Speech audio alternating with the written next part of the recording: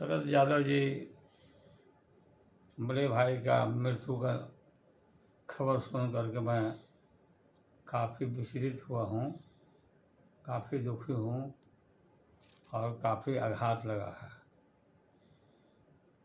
शरद यादव जी, माननीय मुलायम सिंह यादव जी और नीतीश कुमार जी और बहुत सारे नेता, हम सब लोग, डॉक्टर राम मनोहर लोहिया चंद नायक कर्पूरी ठाकुर जी के सानिध्य में मिल के राजनीति किया और करते हम लोग आ रहे हैं।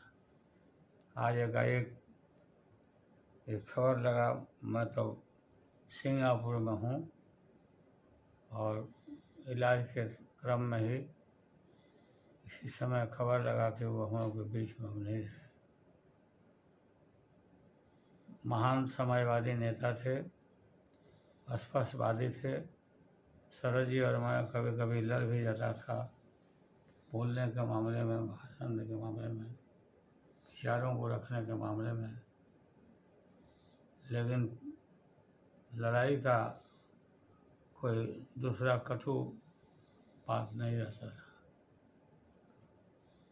लाखों लाख अपने मित्रों को छोड़ करके हम लोग के बीच से वो उठ गए।